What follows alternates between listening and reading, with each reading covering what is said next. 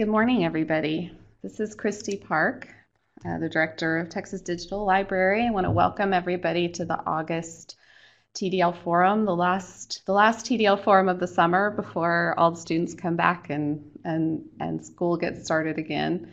Um, we're glad you're here with us today. I'm joined by Ryan Steans, our Assistant Director here in Austin, and Courtney Mumma, our Services Manager. And we'll be um, giving you some updates today about what uh, TDL has been up to over the last month. We're going to start with some staff and member news and um, then give a brief update on our DPLA hub expansion project that we've been working on over the past year. Um, and then Ryan's going to give some technical updates um, on upgrades and systems systems improvements that the tech team is working on. And Courtney will um, pop in for some updates on digital preservation work. And then I'll wrap things up with um, some news about events, including dates for the 2018 Texas Conference on Digital Libraries. So um, I'll start by saying you I, haven't uh, led these forums over the last few months because Laura Waugh, our marketing coordinator, has been leading them.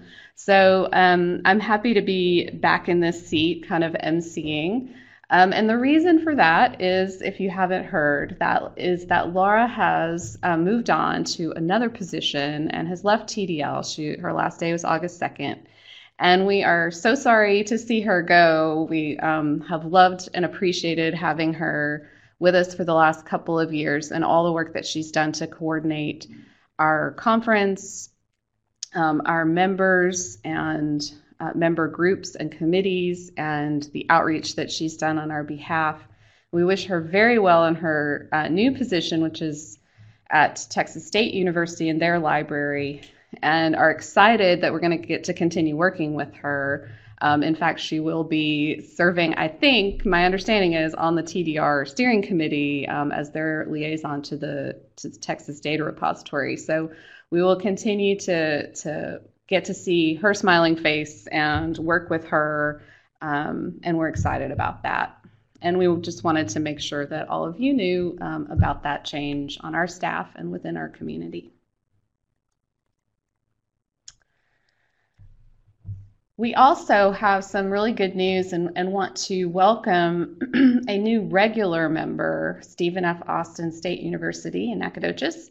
Um, most of you know they've been an affiliate member for the last year using digital preservation services, and we're really excited that they've decided to upgrade to regular member and um, get all the full benefits of regular member status. We're looking forward to continuing to work with them to provide digital preservation services for their really rich um, digital archives that they have there in Nacogdoches and on other projects as well. So um, welcome to Stephen F. Austin. Welcome again to Stephen F. Austin. So next I want to um, give you a little bit of an update on our work to expand the collections that are being um, aggregated to go into the Digital Public Library of America.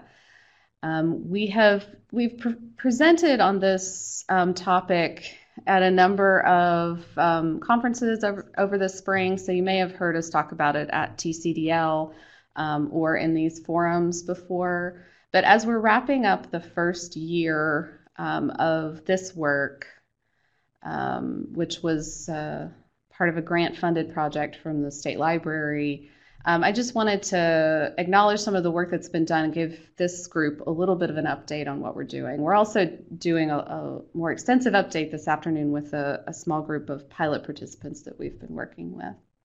So if you'll remember, um, this is a project to, uh, with a number of partners, um, including the University of North Texas and Houston Public Library, uh, with some grant funding from the Texas State Library and Archives Commission through their LSTA program to um, expand on the work that the University of North Texas has done through the Portal of Texas History in aggregating digital collections around the state um, to be included in the Digital Public Library of America.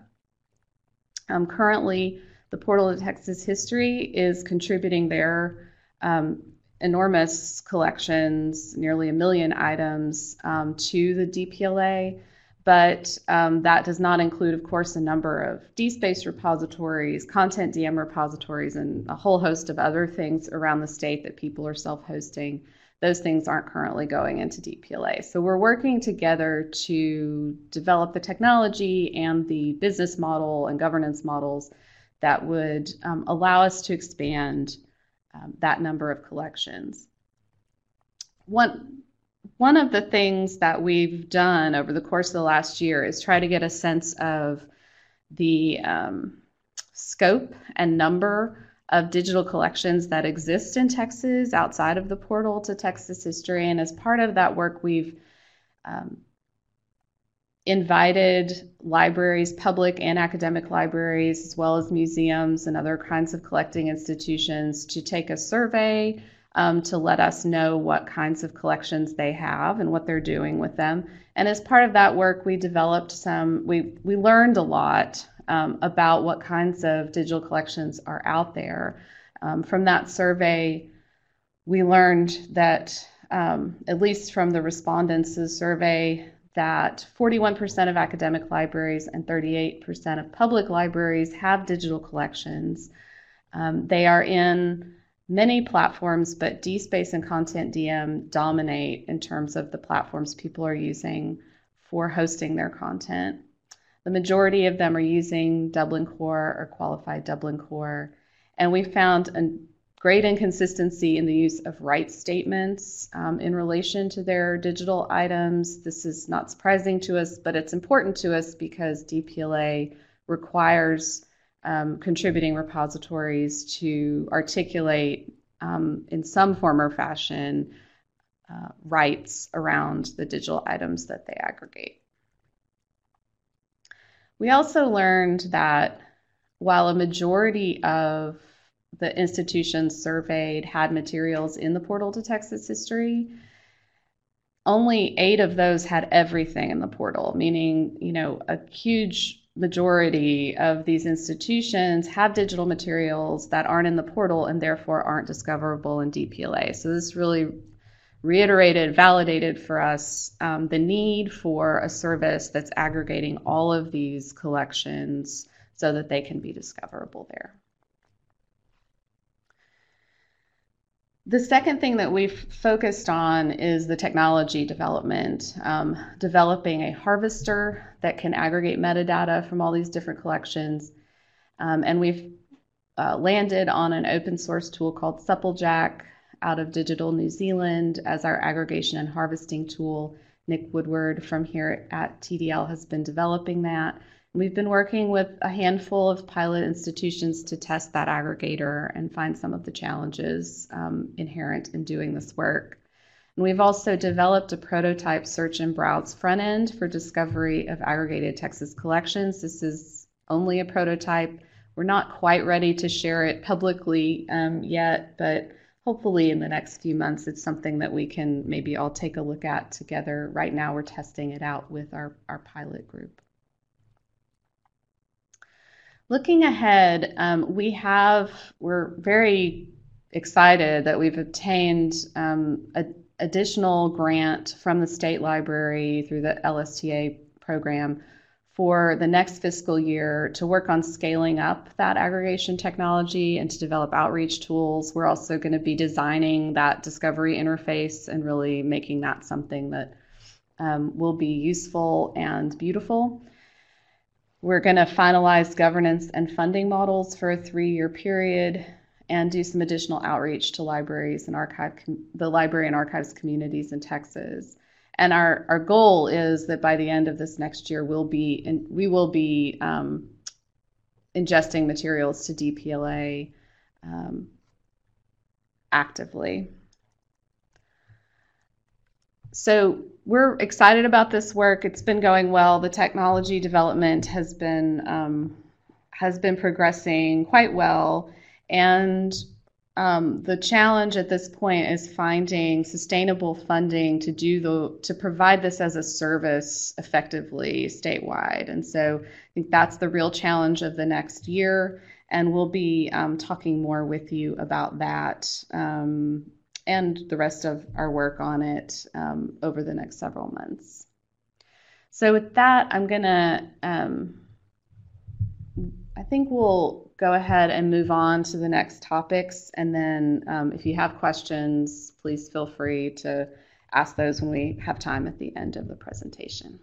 Okay, so I'm going to turn it over to Ryan now to talk about some technical updates. Hi, everybody. Um, the first thing that we want to talk about is uh, something a bunch of the team at TDL is has been involved with. Um, it, and that's the upgrade of Dataverse uh, to 4.7.1, which is currently underway. Um, Harvard IQSS is the folk are the folks who make Dataverse, and they've become really community focused uh, towards systems improvements. We're currently jumping from 4.6 to 4.7.1, so we have to go through a lot of uh, intermediary steps as we do that, and we have to look at all the new features in each of those steps as we go along. Um, and we're doing that internally, and we'll be sharing with the steering committee uh, the the dev and training systems as we uh, get further along. Um, some changes are cosmetic, and, and we're trying to make sure that our system uh, retains its integrity and uh, everything looks the way you would expect it to as we go along uh, to each new step.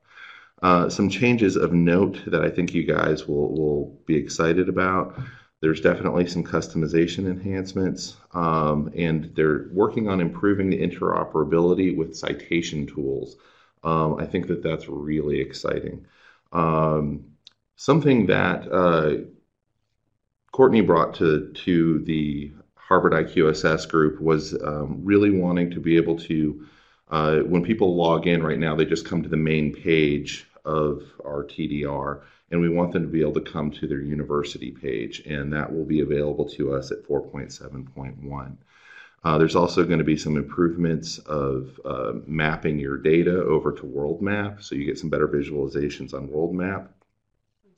Um, and uh, something that I know I've been asked about uh, is the ability to add the department as a Dataverse category. Um, so that is definitely coming down the pike. I can't tell you how excited I am that all of this stuff is coming. It's stuff I know you guys have asked me about, so uh, it's it's coming. Um, Courtney is going to be preparing some release notes, and we'll be making uh, those available, and we'll definitely continue to be available to answer questions through email, the ticketing system, any way you want to get in touch with us. Uh, we're, we're here to help with that. Um, the next thing I want to talk about, and this is far broader in scope, is uh, we are beginning the first baby steps towards re-architecting uh, TDL's AWS infrastructure. Um, the person who's leading the charge on this is uh, Clark Kim, who's been with us about four months. Um, we have been in AWS for about six and a half years, seven years, and it's really time to reevaluate, make sure we're staying on the edge. Um, as we look at kind of part one, that's a little more detailed because this is the part that we're currently underway with, uh, is uh, AWS cleanup. We tend to hoard things within AWS, and we want to make sure that we get rid of things we don't have, we aren't using that are stopped or or just sitting on the systems. Um, so we can do that to get some cost savings. Um, there's some general improvements that we can definitely think about as far as all of our systems go. And that includes picking the best computers that AWS has made available because AWS is constantly changing and making new systems possible for us with, with better performance uh, and better memory, things like that. Um, the next thing we're moving on to then will be improving the security overall of, of uh, the TDL AWS. Um, I actually have to be a little cagey about how I talk about security and what we're doing, so if you y'all can bear with me. Um, but uh, we are we are going to be tightening up some of our security um, and improving uh, how we're thinking about VPN and putting in place some new auditing steps. Following that, and this is pretty far down the road, Uh, we're going to be working to re-standardize how we think about deploying systems and how we think about patching and upgrading systems. Um, and there will be lots of charts and lots of maps that we'll be putting online for all of that as we come to that point. But that is still many, many months away. Uh, but we're just wanted to make a general announcement that that's where the TDL team is going to be spending its time. Uh, we'll be doing some of this as we perform upgrades on, on certain systems at TDL, uh, like doing the D upgrade from DSpace 5 to DSpace 6 will give us an opportunity to put some of these measures in place at that time. So just wanted to give you guys a heads up on that. Ryan, can I ask you, um, will these changes have any impact on um, our users' access to their systems at any point? And if so, how will you can you talk a little bit how you would communicate that out? Sure. I don't really expect for folks to really notice much um, as far as uh, access or downtime. Um, when that does occur, we'll be communicating directly with you guys and letting you know, making sure that this works with your schedule, that we're not interrupting processes, uh, work that you're doing with your faculty or researchers. Um, all of this will let you know ahead of time before we would take anything down. Um, that's part of why we want to include it in uh, like upgrades of systems because there's always going to be downtime there anyway as we make that transfer. So might as well um, kill two birds with one stone there. That's great. Thank you.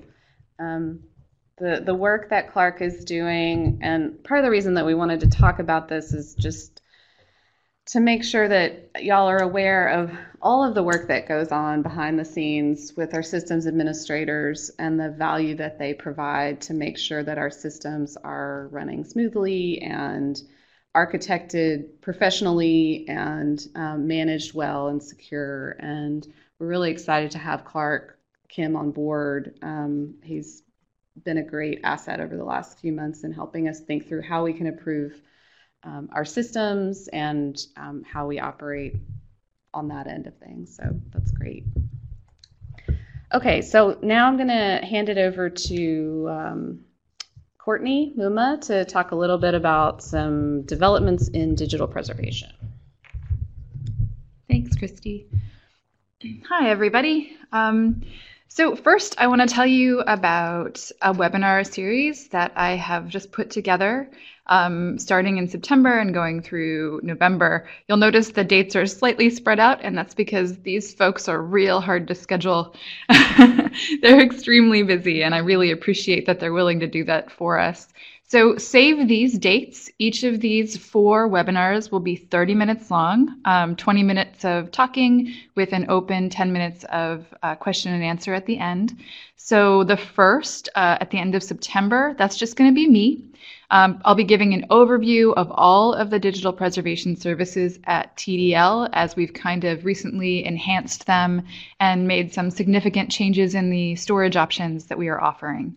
October 6th is going to be DuraSpace's Heather Greer Klein speaking about DuraCloud, which is, of course, the gateway to any of the digital preservation storage options here at TDL. Um, November 3rd is going to be the executive director of Deepin, the Digital Preservation Network, Mary Molinaro. And then finally, we're going to end in November on the 10th with Sibyl Schaefer, who is the UCSD Digital Preservation Analyst, who is in charge of Chronopolis there. So these are going to be really great. I'll be posting something very soon um, with links to where you'll join and how um, how you can participate in each of these. And I hope many of you are able to join us. They're going to be really great, and especially the opportunity to ask questions directly of these representatives of these open platforms. I think is going to be really valuable. Um, the other thing I want to update about is uh, I've been out on the road quite a bit lately. So um, the first thing here is um, in Newcastle in the UK last month, I was asked to participate in something called Records DNA. The goal of that workshop was to set a research agenda for the ideal digital evidence base of the future. So, what we were doing was really trying to step outside of what we consider good practice in digital preservation and instead think about what does that look like 20, 30 years from now when someone's approaching digitally preserved content. Um, and then once we envision that, what is the research agenda that we need to come up with to make that happen? It was really excellent. Um, we had people there from libraries and archives and IT services, but also philosophers and historians and um, English professors, digital humanists. It was really fantastic. I'm writing a blog post on behalf of this project for um, their own blog, and so I'll share that certainly with TDL through our lists. Um, then in Portland, Oregon, I attended the Society of American Archivists conference. Um, I was only there for the Friday and Saturday. Um, this year, it was overwhelmingly focused on making archives more inclusive and dismantling white supremacy and how you might do that from the archives perspective. Um, that's especially pertinent, I think, now um, due to the events of last weekend. Um, I think that's really brought these issues even more to the fore. And if any of you are interested in seeing some video from that, um, there are several sessions that are available on the Society of American Archivists website. And I'm also happy to answer any questions about any of the sessions that I attended personally. You can email me directly. Then the other thing I did, um, I went to the University of Houston um, and I spent a really great day and a half there um, working and whiteboarding to establish a workflow and a development agenda so that they can process their digitized content, including audio, visual materials, um, through Archivematica, which is, of course, the digital preservation system, and some other local tools that they've developed to manage their metadata and their workflows ultimately to send packages to their digital preservation storage environments that they've selected. Um, we got a lot done. I was really happy with the work there, um, and it's a wonderful team. And I want to remind all of you that if you are using digital preservation services, you too can have a consultation day. so that's part of your benefits as a member using digital preservation services. The only thing you need to cover is travel and accommodation. Otherwise, this is this is part of what you get um, as a member is my consultation services. Um, so yeah, I'm glad I could update you on those. I'm happy to answer any questions about any of these. Um, you can email email me. I'll put it in the chat for y'all. Awesome. Thanks, Courtney. So we'll just wrap things up here with a, a few um, reminders or announcements about upcoming events, and then um, you can get your questions ready and enter those in the chat window if you have them. Um, just wanted to announce that you should mark your calendars for TCDL 2018, which will be held May 15th through 17th here in Austin. We will be back at the Commons Learning Center um, up in North Austin near the domain on the Pickle Research Campus. And you can see that there's a link here to the TDL.org website where we are starting to gather um, and post information about the conference. We'll be posting um, registration rates very soon on there so that you can start your planning. Um, we're going to be using a slightly different set of tools for TCDL this year. So we'll be using TDL.org to post information and a new system called Cvent for managing registration. So everything's going to look a little bit different in terms of our online presence this year. So, um, I, and we hope will look a little better and work a little better. So um, just get ready for that. We're really excited, as always, to be um, starting the planning for TCDL 2018. And then a couple of reminders. One is a reminder that we, along with UT Libraries and DuraSpace, are hosting a 2017 Fedora Camp in Texas um, this coming fall. That will be October 16th through 18th in the Perry Castaneda Library here at UT Austin. It is a deep dive into Fedora and the Fedora platform. Um, it will be a great opportunity for those who are doing development in Fedora or really interested in getting a, a pretty intensive look at, at um, that platform. TDL members are um, eligible to select the member rate when you register for this camp. So that member rate it means DuraSpace member. Um, when you when you log on and register. But because um, TDL is sponsoring, as a member of TDL, you can select that member rate because we're members of DuraSpace. So I encourage you to look into that if you haven't already. I think the early registration discount is passed, unfortunately, but you can still register and join us. Um, and in other Fedora news, the South Central States Fedora Users Group meeting um, will be held next week. Is that next week? August 23rd through 24th at Texas A&M in their Medical Sciences Library in College Station.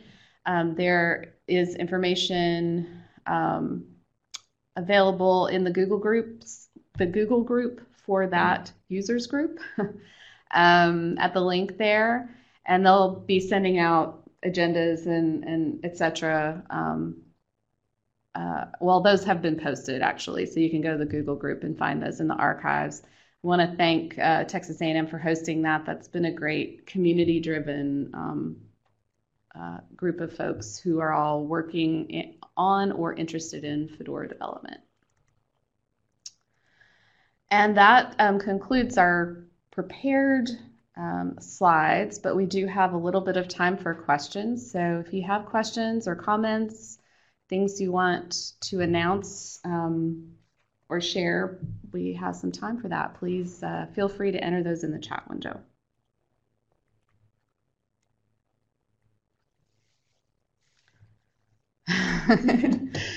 That's great, Santi. We're ready for your questions. we hope. Is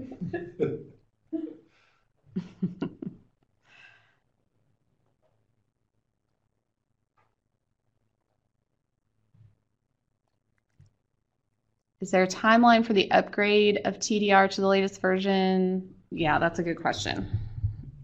Um, Ryan, are- do you want to field that? Sure, yes. There is a loose timeline. Um, I, we hope to be done by the end of next week. Um, well, at least to be able to release it to the steering committee. Um, I was just thinking of when Nick Lowland would be finishing up his work. Um, so we're pretty, we're moving pretty quickly on it um, and uh, able to resolve the differences between the the different versions pretty easily with our code base. So so far so good. We're currently at 4.7. Uh, so we just need to make that jump to 4.7.1 on uh, dev and then training um, for for all for our system there. So the idea, I think, is to Release do the upgrade and let the TDR steering committee test it and look On- at it bu- training. on training before we release it into the production instance. So, um, I- but it, it's moving, as Brian just said, it's moving quickly and should be in the next few weeks. What else you got, Santi? That was easy, Sandy. It was a hard one.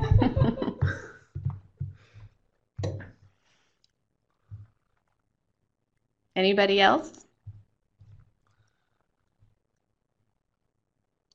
Okay. Oh, yeah, we are sorry to hear about Laura too. Um, yeah, that's a good question about how we're kind of um, dealing with Laura's absence. So, in the meantime, um, we are going to refill that position. Um, in the next few months, but there will be obviously some uh, some time where we don't have anybody in the position. So in the meantime, you should contact Leah DeForest, who is our um, communications strategist, and Courtney's going to put her email address in um, in uh, the chat window, or me, and and really probably and me. So um, get in touch with me and Leah if you have questions. Um, I'm I'm stepping in on the conference committee. Uh, Leah is stepping in with coordinating some of the training and things like that. So we're we're um, filling in as needed um, until we can fill a position. Great. Thanks for the questions. If anybody else has questions after we uh, we conclude, you can always contact us at info at tdl.org or any of us individually, of course. Um, and we look forward to talking with you over the next month as the as the academic year gets started again, um, and seeing you at various events over the course of the next few months. So, uh, y'all take care and uh, good luck with the the coming year. We'll see you again here next month. Bye, everybody. Bye. Bye.